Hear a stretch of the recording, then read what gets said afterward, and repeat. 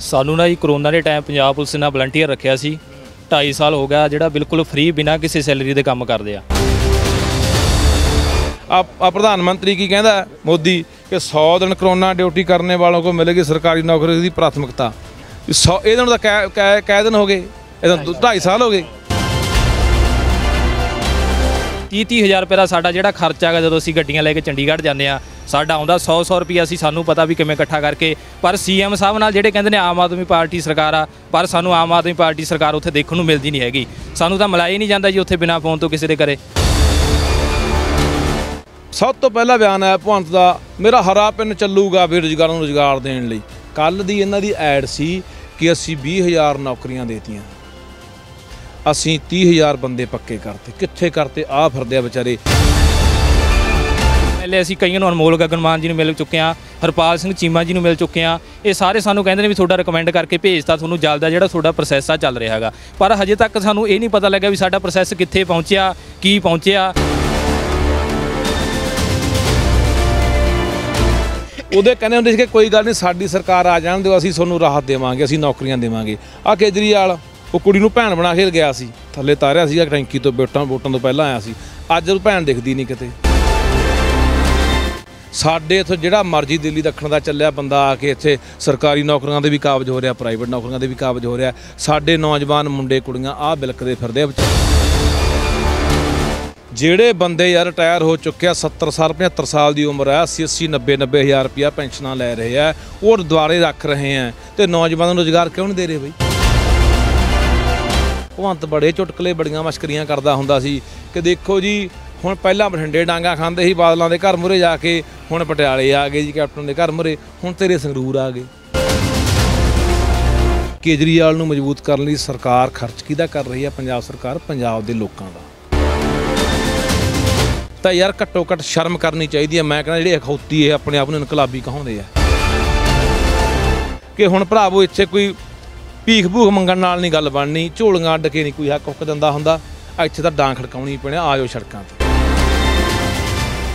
Corona ਕਾਲ ਦੇ ਦੌਰਾਨ ਸਰਕਾਰ ਵੱਲੋਂ ਅਪੀਲ ਕੀਤੀ ਗਈ ਸੀ ਕਿ ਨੌਜਵਾਨ ਇਸ ਸੰਕਟ ਦੇ ਵਿੱਚ ਸਾਡਾ ਸਾਥ ਦਿਓ ਵਲੰਟੀਅਰ ਦੇ ਤੌਰ ਤੇ ਨਿਤਰੋ ਤਾਂ ਨੌਜਵਾਨਾਂ ਵੱਲੋਂ ਸਰਕਾਰ ਦਾ ਸਾਥ ਦੇਣ ਲਈ ਪੰਜਾਬ ਪੁਲਿਸ ਤੇ ਹੋਰ ਮਹਿਕਮਿਆਂ ਦੇ ਵਿੱਚ ਵੀ ਸਹਿਯੋਗ ਦਿੱਤਾ ਗਿਆ। ਪਰ ਜਿਨ੍ਹਾਂ ਨੇ ਪੰਜਾਬ ਪੁਲਿਸ ਵਿੱਚ ਦਿਨ ਰਾਤ ਡਿਊਟੀਆਂ ਕੀਤੀਆਂ ਉਹਨਾਂ ਦੇ ਨਾਲ ਸਹਿਯੋਗ ਦਿੱਤਾ ਪੰਜਾਬ ਪੁਲਿਸ ਦਾ। ਉਹ ਨੌਜਵਾਨਾਂ ਨਾਲ ਸਰਕਾਰ ਨੇ ਵਾਅਦੇ ਕੀਤੇ ਸੀ। ਪ੍ਰਧਾਨ ਮੰਤਰੀ ਦਾ ਵੀ ਇੱਕ ਲੈਟਰ ਆਉਂਦਾ, ਇੱਕ ਬਿਆਨ ਆਉਂਦਾ ਕਿ ਜਿਹੜੇ ਨੌਜਵਾਨਾਂ ਨੇ ਕਰੋਨਾ ਦੇ ਦੌਰਾਨ ਡਿਊਟੀਆਂ ਦਿੱਤੀਆਂ, ਸਾਡਾ ਵਲੰਟੀਅਰ ਤੌਰ ਤੇ ਸਾਥ ਦਿੱਤਾ, ਉਹਨਾਂ ਨੂੰ ਨੌਕਰੀਆਂ ਦੇ ਵਿੱਚ ਪਹਿਲ ਦਿੱਤੀ ਜਾਵੇਗੀ। ਪਰ ਜਿਸ ਤਰੀਕੇ ਨਾਲ ਅਕਸਰ ਹੀ ਦੇਖਣ ਨੂੰ ਮਿਲਦਾ ਕਿ ਸਰਕਾਰਾਂ ਕਹਿੰਦੀਆਂ ਕੁਝ ਹੋਰ ਆ ਵਾਪਰਦਾ ਕੁਝ ਹੋਰ ਹੈ ਇਸੇ ਤਰੀਕੇ ਦੇ ਮਾਮਲੇ ਇਹਨਾਂ ਕਰੋਨਾ ਕਾਲ ਦੇ ਵਲੰਟੀਅਰਾਂ ਦੇ ਨਾਲ ਹੋਇਆ ਗੱਲਬਾਤ ਕਰਦੇ ਹਾਂ ਸਾਡੇ ਨਾਲ ਵਲੰਟੀਅਰ ਜਥੇਬੰਦੀ ਤੋਂ ਨੇ ਨਾਲ ਹੀ ਬਾਈ ਲੱਖਾ ਸਧਾਨਾ ਨੇ ਅ, ਦੋਨਾਂ ਨਾਲ ਗੱਲਬਾਤ ਕਰਦੇ ਹਾਂ। ਬਾਈ ਕੀ ਮਾਮਲਾ ਪਹਿਲਾਂ ਸਾਰਾ ਸਮਝਾਓ ਸਾਨੂੰ ਨਾ ਜੀ ਕਰੋਨਾ ਦੇ ਟਾਈਮ ਪੰਜਾਬ ਪੁਲਿਸ ਨੇ ਵਲੰਟੀਅਰ ਰੱਖਿਆ ਸੀ। 2.5 ਸਾਲ ਹੋ ਗਿਆ ਜਿਹੜਾ ਬਿਲਕੁਲ ਫ੍ਰੀ ਬਿਨਾਂ ਕਿਸੇ ਸੈਲਰੀ ਦੇ ਕੰਮ ਕਰਦੇ ਆ। ਉਸ ਤੋਂ ਬਾਅਦ ਅਸੀਂ ਕਾਂਗਰਸ ਸਰਕਾਰ ਵੇਲੇ ਵੀ ਸਾਰੇ ਐਮਐਲਏ ਸਾਹਿਬ ਡੀਓ ਲੈਟਰ ਬਕਾਇਦਾ ਸਾਡੇ ਕੋਲੇ ਪ੍ਰੂਫ ਵਜੋਂ ਫਾਈਲ ਆ ਸਾਰਿਆਂ ਦੇ ਜਿੰਨੇ ਡੀਓ ਲੈਟਰ ਨੇ ਇਹਦੇ ਵਿੱਚ ਲੱਗੇ ਹੋਏ ਨੇ। ਇਸ ਤੋਂ ਬਾਅਦ ਅਸੀਂ ਮੰਤਰੀ ਨੂੰ ਮਿਲਦੇ ਹਾਂ, ਸਾਰਿਆਂ ਨੂੰ ਤੇ ਸੀਐਮ ਦਫ਼ਤਰ ਜਾਂਦੇ ਹਾਂ ਕਿ ਸਾਨੂੰ ਇਹ ਕਹਿ ਕੇ ਵਾਪਸ ਭੇਜ ਦਿੱਤਾ ਜਾਂਦਾ ਵੀ ਤੁਹਾਡੀ ਜਿਹੜੀ ਮੀਟਿੰਗ ਆ, ਉਹ ਸੀਐਮ ਸਾਹਿਬ ਨਾਲ ਕਰਵਾਈ ਜਾਊ। ਪਰ ਅੱਜ ਤੱਕ ਸਾਨੂੰ 6 ਮਹੀਨੇ ਹੋ ਗਏ, ਸਰਕਾਰ ਕੱਲ ਬਹੁਤ ਵੱਡੀ ਐਡ ਲੱਗੀ ਦੀ ਅਖਬਾਰ ਵਿੱਚ। ਪਹਿਲਾਂ ਦੇਖ ਕੇ ਇੱਕ ਪਾਸੇ ਦਿਲ ਬਹੁਤ ਖੁਸ਼ ਹੋਇਆ ਵੀ ਚਲੋ ਬਦਲਾਵ ਦੀ ਐਡ ਆ, ਹਨਾ? ਚਲੋ ਵੀ ਬਦਲਾਵ ਆਇਆ। ਪਰ ਜਿੱਥੇ ਅਸੀਂ ਆਪਦੇ ਵੱਲ ਜਦੋਂ ਧਿਆਨ ਦਿੱਤਾ ਵੀ 6 ਮਹੀਨੇ ਹੋ ਗਏ ਅਸੀਂ ਇਹਨਾਂ ਦੇ ਪਿੱਛੇ ਫਿਰਦੇ ਆ 30 30 ਹਜ਼ਾਰ ਰੁਪਏ ਦਾ ਸਾਡਾ ਜਿਹੜਾ ਖਰਚਾ ਹੈਗਾ ਜਦੋਂ ਅਸੀਂ ਗੱਡੀਆਂ ਲੈ ਕੇ ਚੰਡੀਗੜ੍ਹ ਜਾਂਦੇ ਆ ਸਾਡਾ ਆਉਂਦਾ 100 100 ਰੁਪਏ ਅਸੀਂ ਸਾਨੂੰ ਪਤਾ ਵੀ ਕਿਵੇਂ ਇਕੱਠਾ ਕਰਕੇ, ਪਰ ਸੀਐਮ ਸਾਹਿਬ ਨਾਲ ਜਿਹੜੇ ਕਹਿੰਦੇ ਨੇ ਆਮ ਆਦਮੀ ਪਾਰਟੀ ਸਰਕਾਰ ਆ, ਪਰ ਸਾਨੂੰ ਆਮ ਆਦਮੀ ਪਾਰਟੀ ਸਰਕਾਰ ਉੱਥੇ ਦੇਖਣ ਨੂੰ ਮਿਲਦੀ ਨਹੀਂ ਹੈਗੀ। ਸਾਨੂੰ ਤਾਂ ਮਿਲਾਇਆ ਹੀ ਨਹੀਂ ਜਾਂਦਾ ਜੀ ਉੱਥੇ ਬਿਨਾਂ ਫੋਨ ਤੋਂ ਕਿਸੇ ਦੇ ਕਰੇ ਅੱਜ ਤੱਕ ਜਿਹੜੀ ਸਾਡੀ ਕੋਈ ਵੀ ਸਾਡੀ ਸੀਐਮ ਸਾਹਿਬ ਨਾਲ ਫੋਟੋ ਦਿਖਾ ਦਿਓ ਆ ਔਨ ਰਿਕਾਰਡ ਸਾਰੇ ਮੰਤਰੀ ਆਮ ਆਦਮੀ ਪਾਰਟੀ ਦੇ ਜਿੰਨੇ ਵੀ ਆ ਇਹ ਸਾਰੇ ਸਾਨੂੰ ਰਿਕਮੈਂਡ ਕਰਕੇ ਦੇ ਰਹੇ ਨੇ ਲੈਟਰ ਧਾਲੀਵਾਲ ਸਾਹਿਬ, ਇੰਦਰਵੀਰ ਸਿੰਘ ਨੇਜਰ, ਆਪਣੇ ਹੋਰ ਵੀ ਟਰਾਂਸਪੋਰਟ ਮੰਤਰੀ ਨੇ ਜਿਹੜੇ ਸਾਰੇ ਐਮਐਲਏ ਅਸੀਂ ਕਈਆਂ ਨੂੰ ਅਨਮੋਲ ਗਗਨਮਾਨ ਜੀ ਨੂੰ ਮਿਲ ਚੁੱਕੇ ਆ ਹਰਪਾਲ ਸਿੰਘ ਚੀਮਾ ਜੀ ਨੂੰ ਮਿਲ ਚੁੱਕੇ ਆ ਇਹ ਸਾਰੇ ਸਾਨੂੰ ਕਹਿੰਦੇ ਨੇ ਵੀ ਤੁਹਾਡਾ ਰਿਕਮੈਂਡ ਕਰਕੇ ਭੇਜਤਾ ਤੁਹਾਨੂੰ ਜਲਦ ਆ ਜਿਹੜਾ ਤੁਹਾਡਾ ਪ੍ਰੋਸੈਸ ਆ ਚੱਲ ਰਿਹਾ ਹੈਗਾ। ਪਰ ਹਜੇ ਤੱਕ ਸਾਨੂੰ ਇਹ ਨਹੀਂ ਪਤਾ ਲੱਗਿਆ ਵੀ ਸਾਡਾ ਪ੍ਰੋਸੈਸ ਕਿੱਥੇ ਪਹੁੰਚਿਆ, ਕੀ ਪਹੁੰਚਿਆ। ਸਾਨੂੰ ਕਹਿੰਦੇ ਨੇ 15 ਦਿਨ ਤੱਕ ਤੁਹਾਡੀ ਮੀਟਿੰਗ ਕਰਾਈ ਜਾਊ 16ਵੇਂ ਦਿਨ ਅਸੀਂ ਆਪ ਹੀ ਵਗ ਜਾਂਦੇ ਆ ਜੀ, ਵੀ ਕਾਲ ਤਾਂ ਆਈ ਨਹੀਂ ਮੀਟਿੰਗ ਲਈ। ਇਹ ਚੱਕਰ ਹੈ ਕਿਵੇਂ ਦੇਖਦੇ ਹੋ ਬਾਈ? ਜਦੋਂ ਕਰੋਨਾ ਦਾ ਸਮਾਂ ਸੀ ਜਦੋਂ ਕੋਈ ਆਪਦਿਆਂ ਨੂੰ ਅਸੀਂ ਕਈ ਬੜੇ ਉਦੋਂ ਵੇਖੇ ਆ ਕੋਈ ਆਪਦਿਆਂ ਨੂੰ ਸੰਸਕਾਰ ਕਰਨ ਤੱਕ ਵੀ ਤਿਆਰ ਨਹੀਂ ਹੁੰਦਾ ਸੀ। ਉਦੋਂ ਇਹ ਨੌਜਵਾਨ ਮੈਦਾਨ ਦੇ ਵਿੱਚ ਨਿਤਰੇ ਸਾਥ ਦਿੱਤਾ ਸਰਕਾਰ ਦੇ ਨਾਲ ਖੜੇ। ਅੱਜ ਕੀ- ਵੇਖ ਕਿਵੇਂ ਦੇਖਦੇ ਹੋ? ਤਾਂ ਕਹਿੰਦੇ ਸੀ ਕਿ ਬਦਲਾਅ ਵਾਲੀ ਸਰਕਾਰ ਆ। ਚਲੋ ਪਹਿਲਾਂ ਵਾਲੀਆਂ ਸਰਕਾਰਾਂ ਨੂੰ ਤਾਂ ਮੰਨ ਲੈਂਦੇ ਆ। ਇਹਨਾਂ ਨੇ ਨਾ ਕੱਲ ਇੱਕ ਯੂਪੀ ਹਰਿਆਣਾ ਦਿੱਲੀ ਗੁਜਰਾਤ ਬਿਹਾਰ ਰਾਜਸਥਾਨ ਦੇ ਅਖਬਾਰਾਂ 'ਚ ਇਸ਼ਤਿਹਾਰ ਦਿੱਤੇ ਆ ਕਿ ਸਾਡਾ ਕੰਮ ਬੋਲਦਾ। ਉਸ ਤਿਉਹਾਰਾਂ ਦੇ ਉੱਤੇ ਕਰੋੜਾਂ ਰੁਪਈਆ ਖਰਚਿਆ ਗਿਆ ਉਹ ਪੰਜਾਬ ਦੇ ਖਜ਼ਾਨੇ 'ਚੋਂ। ਸਿਰਫ ਤੇ ਸਿਰਫ ਆਮ ਆਦਮੀ ਪਾਰਟੀ ਨੂੰ ਹੋਰਨਾਂ ਸੂਬਿਆਂ 'ਚ ਮਜ਼ਬੂਤ ਕਰਨ ਲਈ ਜਾਂ ਕੇਜਰੀਵਾਲ ਨੂੰ ਮਜ਼ਬੂਤ ਕਰਨ ਲਈ ਸਰਕਾਰ ਖਰਚ ਕਿਹਦਾ ਕਰ ਰਹੀ ਹੈ? ਪੰਜਾਬ ਸਰਕਾਰ ਪੰਜਾਬ ਦੇ ਲੋਕਾਂ ਦਾ, ਖਜ਼ਾਨੇ 'ਚੋਂ ਪੈਸਾ, ਜਿਹੜਾ ਅਸੀਂ ਭਰਦੇ ਹਾਂ, ਸਾਡੇ ਪੰਜਾਬ ਦੇ ਲੋਕ ਭਰਦੇ ਆ। ਇਹ ਹੁਣ ਜਿਹੜਾ ਕਹਿੰਦਾ ਸਾਡਾ ਕੰਮ ਬੋਲਦਾ, ਹੁਣ ਕੰਮ ਬੋਲਦੇ ਵਾਲੇ ਸੁਣ ਲਓ। ਵੀ 6 ਮਹੀਨਿਆਂ ਦੀ ਪ੍ਰਾਪਤੀ ਕਿਹੜੀ ਹੈ? 6 ਮਹੀਨਿਆਂ ਦੀ ਪ੍ਰਾਪਤੀ ਇਹਨਾਂ ਨੇ ਆ ਵੱਡੇ ਵੱਡੇ ਮੰਤਰੀ ਆ, ਚੀਮੇ ਵਰਗੇ ਆ, ਗਗਨ ਮਾਨ ਵਰਗੀਆਂ ਬੀਬੀਆਂ, ਇਹਨਾਂ ਦੇ ਹੋਰ ਮੰਤਰੀ ਆ, ਮੀਤ ਹੇਰ ਵਰਗੇ, ਖੁਦ ਭਗਵੰਤ ਸਿੰਘ ਮਾਨ ਜਾ ਕੇ ਕਹਿੰਦੇ ਹੁੰਦੇ ਸੀ ਜਦੋਂ ਬੇਰੁਜ਼ਗਾਰ ਬੈਠੇ ਕਦੇ ਧਰਨਿਆਂ ਤੇ, ਕੋਈ ਟੈਂਕੀ ਤੇ ਚੜਿਆ ਬੈਠਾ ਕੋਈ ਸੜਕਾਂ ਤੇ ਬੈਠਾ ਕੋਈ ਕਿਸ ਤਰੀਕੇ ਨਾਲ ਵਿਚਾਰੇ ਆਪਣਾ ਪ੍ਰਦਰਸ਼ਨ ਕਰ ਰਹੇ ਹੁੰਦੇ ਸੀ, ਤਾਂ ਬਿਲਡਿੰਗਾਂ ਦੇ ਵਿੱਚ ਚੜੇ ਹੁੰਦੇ ਸੀਗੇ।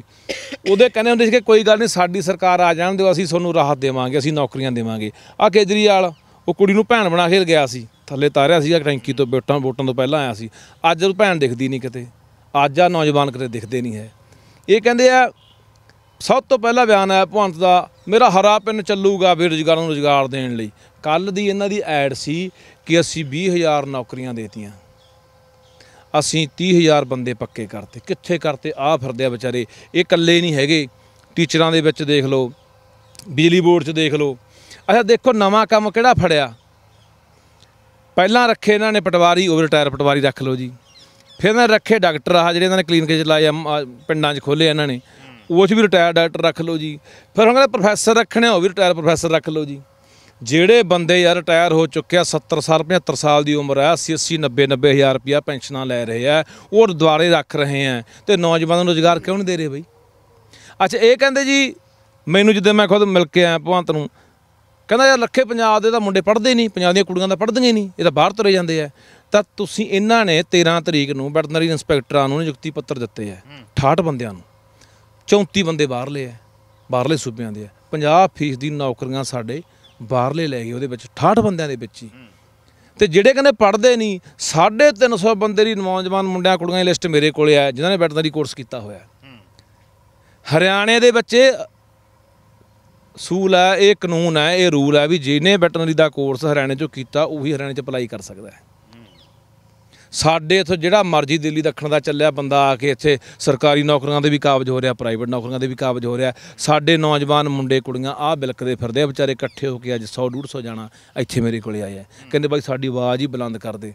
ਮਾਂ ਭਰਾਵੋ, ਆਵਾਜ਼ ਤਾਂ ਮੈਂ ਬਹੁਤ ਬੁਲੰਦ ਕਰਦਾ।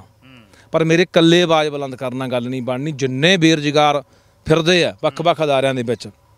ਤੁਸੀਂ ਦੇਖੋ ਵਿਚਾਰੇ ਆ ਜਿਹੜੇ ਬਿਜਲੀ ਬੋਰਡ ਦੇ ਵਿੱਚ 70% ਦੀ ਬਾਹਰਲਿਆਂ ਨੂੰ ਲਿਆ ਕੇ ਬਹਾਤਾ। ਜੇ ਇਸੇ ਸਰਕਾਰ ਨੇ ਆ ਕੇ ਨਿਯੁਕਤੀ ਪੱਤਰ ਦਿੱਤੇ ਆ ਆ 2 ਮਹੀਨੇ ਪਹਿਲਾਂ।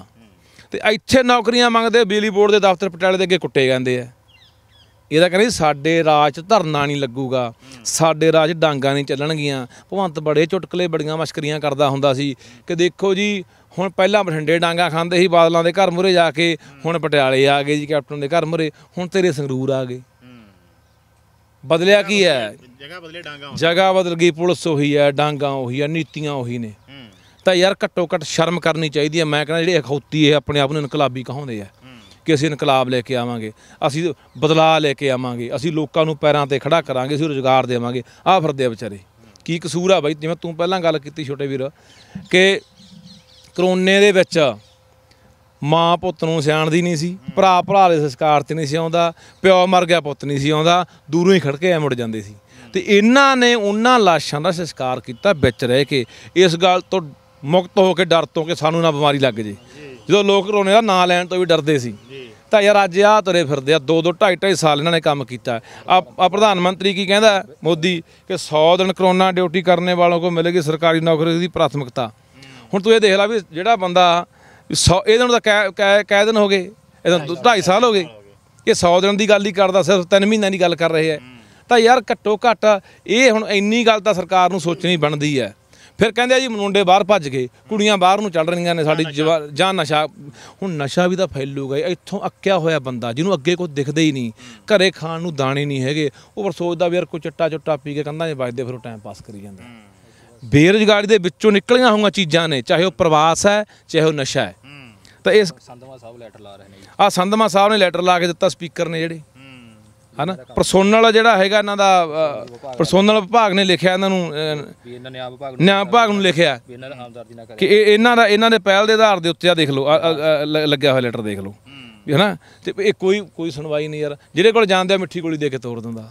ਸੋ ਮੈਂ ਸਰਕਾਰ ਨੂੰ ਇਹ ਚੇਤਾਵਨੀ ਵੀ ਦਿੰਨੀ ਆ, ਮੈਂ ਸਾਰੇ ਭਰਾ ਮੇਰੇ ਭੈਣਾਂ ਖੜੀਆਂ ਨੇ, ਇਹਨਾਂ ਨੂੰ ਵੀ ਕਹਿਣਾ ਚਾਹੁੰਦਾ। ਮੈਂ ਹੋਰ ਜਿਹੜੇ ਵੱਖ-ਵੱਖ ਬੇਰੁਜ਼ਗਾਰ ਬੈਠੇ ਆ, ਕੋਈ ਸੰਗਰੂਰ ਬੈਠਾ, ਕੋਈ ਪਟਿਆਲੇ ਬੈਠਾ, ਕੋਈ ਮੋਹਾਲੀ, ਕੋਈ ਚੰਡੀਗੜ੍ਹ ਬੈਠਾ, ਵੀ ਸਾਰੇ ਇਕੱਠੇ ਹੋ ਕੇ ਇਹਨਾਂ ਦੇ ਖਿਲਾਫ ਬਿਗਲ ਵਜਾਓ। ਸੜਕਾਂ ਤੇ ਜਾਓ, ਇਹਨਾਂ ਨੂੰ ਘੇਰੋ। ਇਹਨਾਂ ਨੂੰ ਪਿੰਡਾਂ 'ਚ ਨਾ ਵੜਨ ਦਿਓ। ਇਹਨਾਂ ਦੇ ਮੰਤਰੀ ਜਿੱਥੇ ਵੀ ਕੋਈ ਉਦਘਾਟਨ ਕਰ ਆ, ਇਹ ਡਾਂਗਾਂ ਦੀ ਗੱਲ ਕਰਦੀ, ਮੈਂ ਅੱਜ ਦੀ ਕੋਈ ਇੱਕ ਵੀਡੀਓ ਦੇਖ ਰਿਹਾ ਸੀਗਾ। ਆ ਪਤਾ ਨਹੀਂ ਕਿੱਥੇ ਕੋਈ ਬੇਰੁਜ਼ਗਾਰ ਨੂੰ ਇੱਕ ਡੀਐਸਪੀ ਡਾਂਗਾਂ ਨਾਲ ਕੁੱਟੀ ਜਾਂਦਾ। ਕਿੱਥੇ ਗਈਆਂ ਯਾਰ? 6 ਮਹੀਨਿਆਂ ਦੇ ਵਿੱਚ ਖਲਾਰਾ ਪੈ ਗਿਆ। ਕਦੋਂ ਆਏ? 4.5 ਸਾਲ ਪਏ ਆ ਹਲੇ। ਸੋ ਮੈਂ ਇਹ ਕਹਿਣਾ ਚਾਹੁੰਦਾ ਸਰਕਾਰ ਨੂੰ ਸਾਡੀ ਚੇਤਾਵਨੀ ਵੀ ਹੈ ਤੇ ਇਹਨਾਂ ਨੂੰ ਵੀ ਕਹਿਣਾ ਚਾਹੁੰਦਾ ਕਿ ਹੁਣ ਭਰਾਵੋ ਇੱਥੇ ਕੋਈ ਭੀਖ ਭੂਖ ਮੰਗਣ ਨਾਲ ਨਹੀਂ ਗੱਲ ਬਣਨੀ ਝੋਲੀਆਂ ਅੱਡ ਕੇ ਨਹੀਂ ਕੋਈ ਹੱਕ ਹੁੱਕ ਦਿੰਦਾ ਹੁੰਦਾ। ਇੱਥੇ ਤਾਂ ਡਾਂ ਖੜਕਾਉਣੀ ਪੈਣੀ ਆਜੋ ਸੜਕਾਂ ਤੇ। ਆ ਚੈਨਲਾਂ ਤੇ ਐਲਾਨ ਕਰਦੇ ਨੇ ਧਾਲੀਵਾਲ ਸਾਹਿਬ ਜੀ। ਆਹ ਦੇਖੋ ਜਦੋਂ ਇਹਨਾਂ ਦੀ ਸਰਕਾਰ ਬਣਦੀ ਹੈ ਚੈਨਲਾਂ ਤੇ ਐਲਾਨ ਕਰਿਆ ਹੋਇਆ ਜਿਹੜਾ। ਆ ਆ ਮੰਤਰੀ ਨੇ ਜਿਹੜੇ ਇਹਨਾਂ ਨੇ ਐਲਾਨ ਕੀਤਾ ਕਿ ਇਹਨਾਂ ਦੀ ਇਹਦਾ ਨਾਲ ਧੰਨਵਾਦ ਕਰਦੇ ਹਾਂ। ਇਹਨਾਂ ਨੇ ਬੜਾ ਸਲਾਹਾ ਜੋ ਕਦਮ ਚੱਕਿਆ ਜਿਹੜੇ ਇਹ ਵਲੰਟੀਅਰ ਸੀਗੇ। ਤੇ ਅਸੀਂ ਇਹਨਾਂ ਇਹਨਾਂ ਦਾ ਕੁਝ ਕਰਾਂਗੇ ਹੱਲ ਸਰਕਾਰ ਆਉਣ ਤੇ। ਸਰਕਾਰ ਆ ਵੀ ਗਈ ਹਾਲੇ ਤੱਕ ਕੋਈ ਹੱਲ ਨਹੀਂ ਆਇਆ। ਯਾਰ ਉਹੀ ਲਾਰੇ ਉਹੀ ਸਭ ਕੁਝ ਉਹੀ ਚੱਲੀ ਜਾਂਦਾ ਪਰ ਮੈਂ ਫੇਰ ਬਾਈ ਤੁਹਾਡੇ ਰਾਹੀਂ ਕਹਿਣਾ ਚਾਹੁੰਦਾ ਮੇਰੀ ਗੱਲ ਇੱਕ ਸੁਣ ਲਓ ਧਿਆਨ ਨਾਲ ਜਿੰਨਾ ਚਿਰ ਤੁਸੀਂ ਇਕੱਠੇ ਨਹੀਂ ਹੁੰਦੇ ਇੱਕ ਤਾਂ। ਕੋਈ ਬੇਰੁਜ਼ਗਾਰ ਜਥੇਬੰਦੀ ਵਾਲੇ ਕਿਤੇ ਬੈਠਿਆ ਕੋਈ ਕਿਤੇ ਬੈਠਿਆ। ਪਹਿਲਾਂ ਸਾਰੇ ਇੱਕ ਇੱਕ ਜਥੇਬੰਦੀ ਬਣਾ ਲਓ ਇੱਕ ਥਾਂ ਇਕੱਠੇ ਹੋ ਜਾਓ। ਇੱਕ ਚਾਹੇ ਕਮੇਟੀ ਬਣਾ ਲਓ। ਇਕੱਠਾ ਸਾਂਝਾ ਸੰਘਰਸ਼ ਕਰਕੇ ਬਿਗਲ ਵਜਾ ਦਿਓ ਇਹਦਾ ਤੁਹਾਡੇ ਗੋਡਿਆਂ ਤੇ ਉਹਦੀ ਆ ਜਾਣਗੇ। ਇੱਕ ਜਿਹੜਾ ਹੁਣ ਇਹ ਇਹਨਾਂ ਨੇ ਕੀਤਾ ਕਿ 26000 ਬੰਦਾ ਅਸੀਂ ਪੱਕਾ ਕਰਨਾ ਹੈ ਪੰਜਾਬ ਦੇ ਵਿੱਚ। ਠੀਕ ਹੈ। ਮੈਂ ਇਹਨਾਂ ਨੂੰ ਚੇਤਾਵਨੀ ਦਿੰਦਾ ਵੀ ਇਹ ਜਿੰਨੇ ਬੇਰੁਜ਼ਗਾਰ ਫਿਰਦੇ ਨੇ ਚਾਹੇ ਇਹ ਨੇ ਚਾਹੇ ਉਹ ਟੀਚਰ ਮਹਿਕਮੇ ਚ ਨੇ ਚਾਹੇ ਬਿਜਲੀ ਬੋਰਡ ਚ ਨੇ ਚਾਹੇ ਕੋਈ ਵੀ ਹੋਰ ਨੇ ਜਿਹੜੇ ਬੇਰੁਜ਼ਗਾਰ ਫਿਰਦੇ ਨੇ ਜਿਹਨਾਂ ਲਗਾਤਾਰ ਕੰਮ ਵੀ ਕੀਤਾ ਤੇ ਉਹਨਾਂ ਦੇ ਕੋਲੇ ਡਿਗਰੀਆਂ ਡਿਪਲੋਮੇ ਵੀ ਹੈਗੇ ਆ। ਜੀ। ਉਹਨਾਂ ਨੂੰ ਜੇ ਨਹੀਂ ਇਹ ਸਰਕਾਰ ਉਹ 26000 ਬੰਦੇ ਦੇ ਵਿੱਚ ਨਹੀਂ ਪੱਕਾ ਕਰਦੀ ਤਾਂ ਅਸੀਂ ਬਿਗਲ ਵਜਾਵਾਂਗੇ ਤੇ ਮੈਂ ਇੱਕ ਠੋਕ ਕੇ ਕਹਿਣਾ ਫਿਰ ਜਿੱਥੇ ਤੱਕ ਮਰਜ਼ੀ ਜਾਣਾ ਪਵੇ ਅਸੀਂ ਇਹਨਾਂ ਦੇ ਨਾਲ ਖੜਾਂਗੇ।